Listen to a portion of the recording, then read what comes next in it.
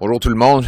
Ça me fait plaisir d'être ici aujourd'hui avec euh, notre lieutenant euh, pour le Québec, euh, pour le Parti conservateur, Pierre Paulus, qui fait partie de notre équipe Gros Bon Sens. Je suis ici à, à Québec afin de partager notre message, de ramener des prix plus bas en éliminant le taxe de carbone numéro 2 que Justin Trudeau et le Bloc québécois veulent imposer sur les Québécois qui coûterait 20 cents de, litre et 500 dollars par famille par année. On va l'éliminer. C'est seulement le Parti conservateur qui va l'éliminer. Deuxièmement, on parle des coupes d'impôts. Euh, les Québécois devraient pouvoir retenir davantage de leur chèque de paie, de ramener plus à la maison. Euh, on doit rendre le travail payant encore ici au Canada, et c'est seulement le Parti conservateur et Pierre Poilievre euh, qui ont le gros bon sens pour le faire. Et troisièmement, on veut partager notre message de donner le feu vert aux projets verts, comme des barrages pour l'hydroélectricité, comme les projets du secteur forestier. On a besoin d'enlever le paperasse et les obstacles du gouvernement fédéral pour, accomplir ces euh, buts et pour produire davantage d'électricité verte ici au Québec. Euh, donc, c'est ça le, gros bon sens et c'est notre agenda. Malheureusement, on a appris aujourd'hui euh, que euh, l'ami du ski de Justin Trudeau, qui fait partie de la Fondation Trudeau, a essayé de camoufler l'ingérence de Pékin dans nos élections. On sait que Pékin a versé 140 000 à la Fondation Trudeau afin d'influencer et d'acheter l'amour de Justin Trudeau. On sait que Pékin s'est ingéré dans, dans deux élections afin de favoriser le Parti libéral et afin d'élire Justin Trudeau. Et on sait que Justin Trudeau était au courant de, de ces faits pendant des années. Et on sait que Justin Trudeau a nommé euh, son ami de famille son, son, ami de ski, son, son voisin euh, du chalet et un membre de la Fondation Trudeau pour camoufler euh, ces faits-là. Et c'est exactement ce qui est arrivé aujourd'hui. Euh, cet ami de Justin Trudeau aide le premier ministre à cacher ou bien l'incompétence du premier ministre ou bien sa complicité en ce qui concerne l'ingérence de Pékin. Le Parti conservateur renouvelle sa revendication d'une enquête publique qui commence maintenant pour exposer toute la manipulation de Pékin dans notre démocratie et notre économie. C'est seulement le Parti conservateur qui va pouvoir déclencher une telle euh, enquête publique et exposer la vérité pour tous les Canadiens. Nous revendiquons aussi un registre de l'influence étrangère pour exposer tous ceux et celles qui sont payés par Pékin ou d'autres dictatures pour manipuler notre démocratie. C'est le gros bon sens.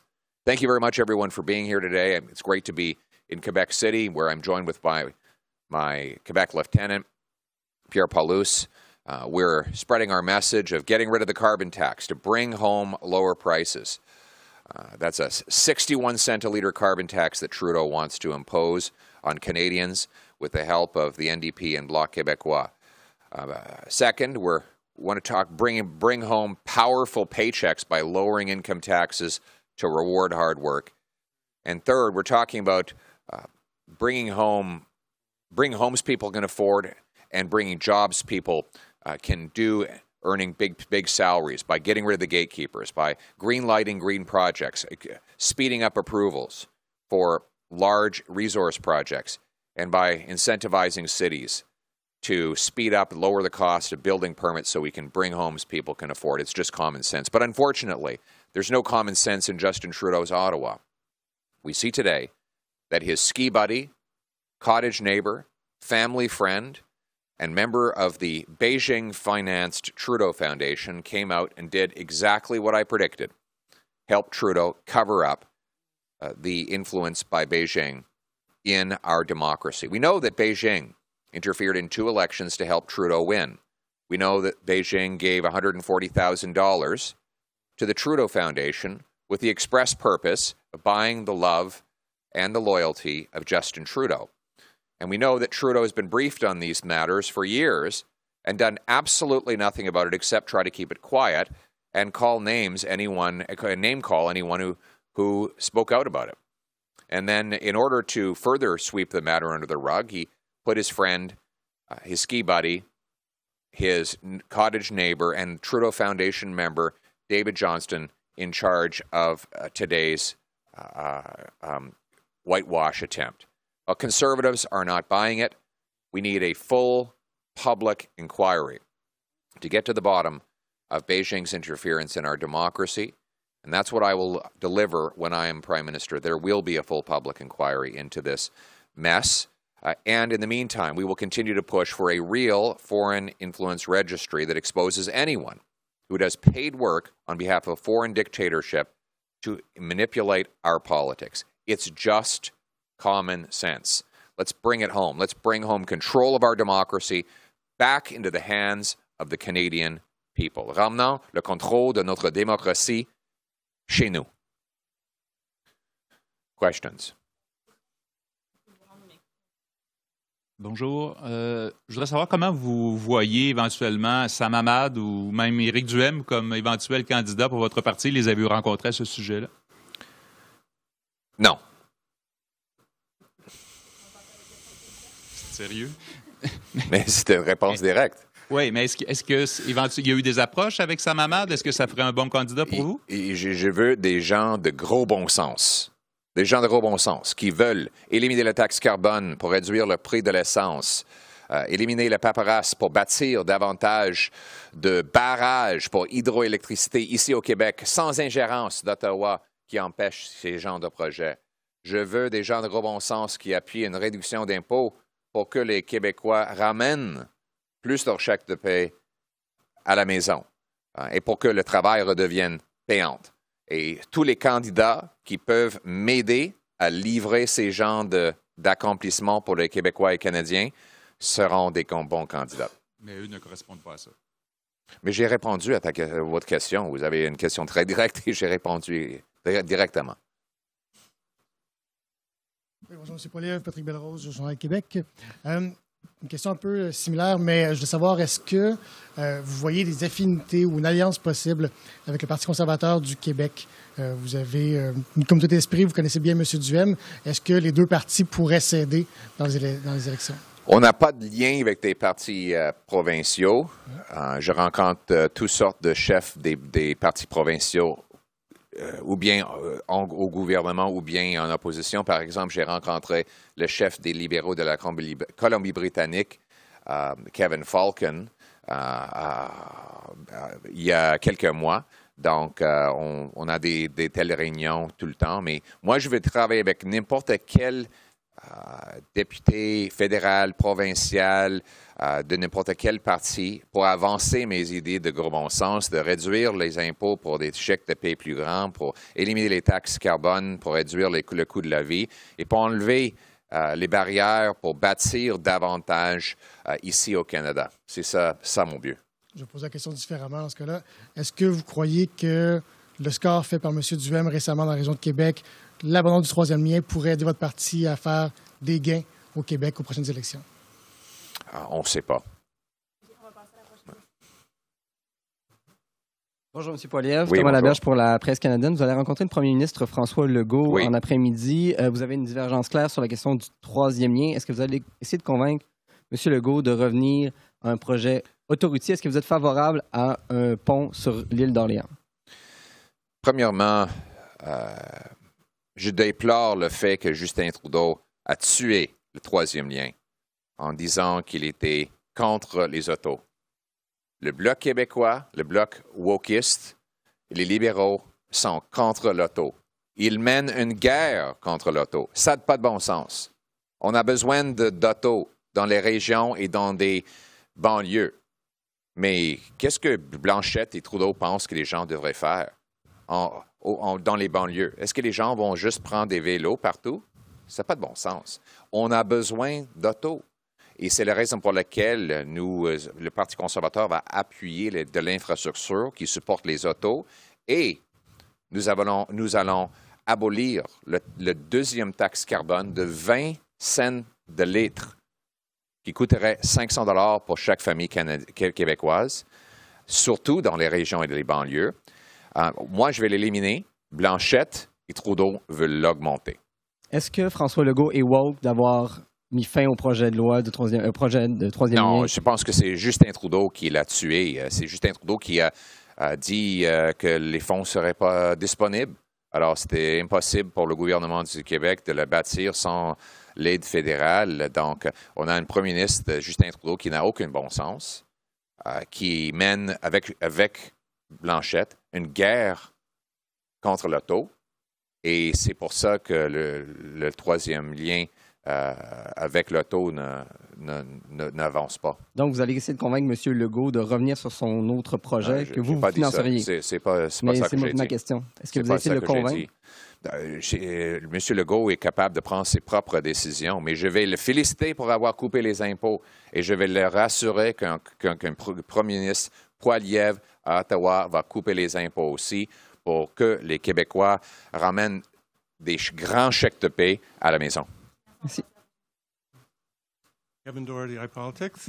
Uh, I presume you watched Mr. Johnson's uh, presentation earlier today, and uh, he said that when, was, when, he when he started the process, he, wanted, he thought that the, he would conclude there should be a public inquiry. He, inclu- he didn't come to that conclusion because he says there's a lot of confidential information. Now, one thing he proposes, he, he's going to have public hearings about things that he can talk about in public, but he also would invited the three opposition leaders, which includes you, to join NSICOP. Would you join NSICOP? David Johnson is Trudeau's ski buddy.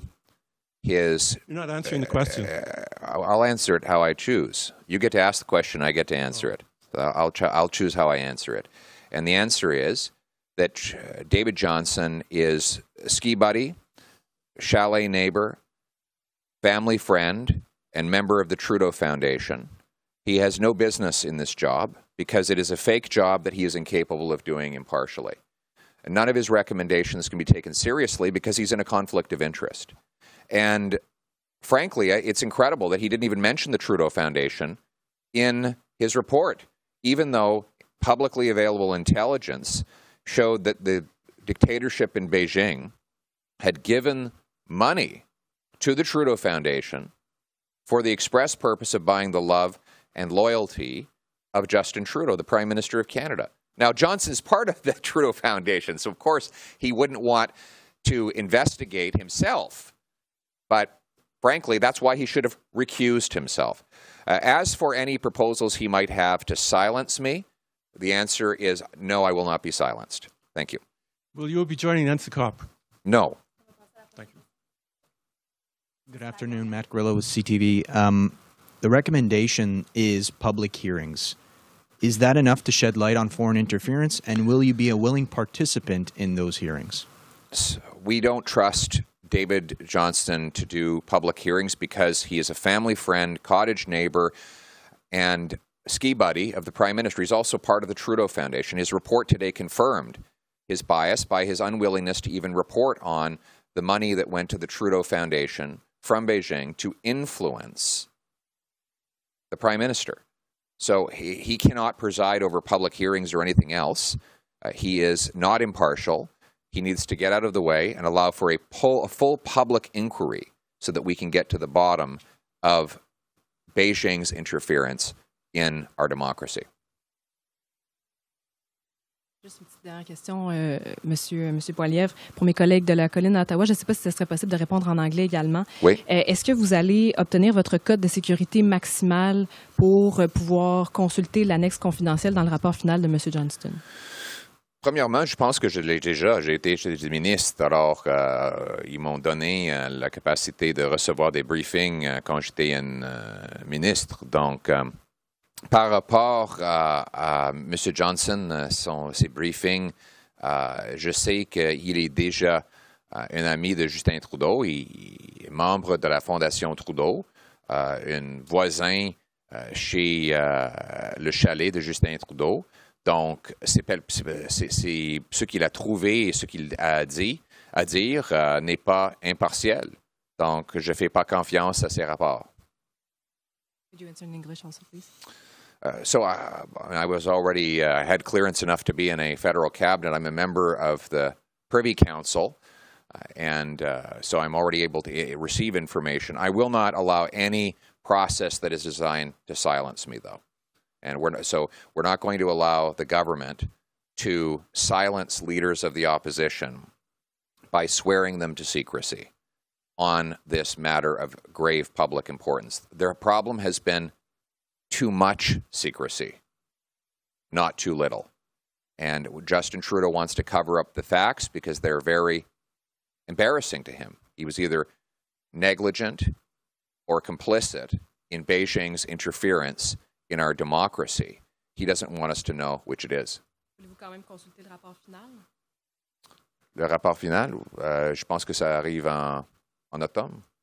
Évidemment, on va, on va lire euh, n'importe quel document qui est, qui est public, mais ce n'est pas pour dire que je supporte le processus. Merci, ça Merci beaucoup.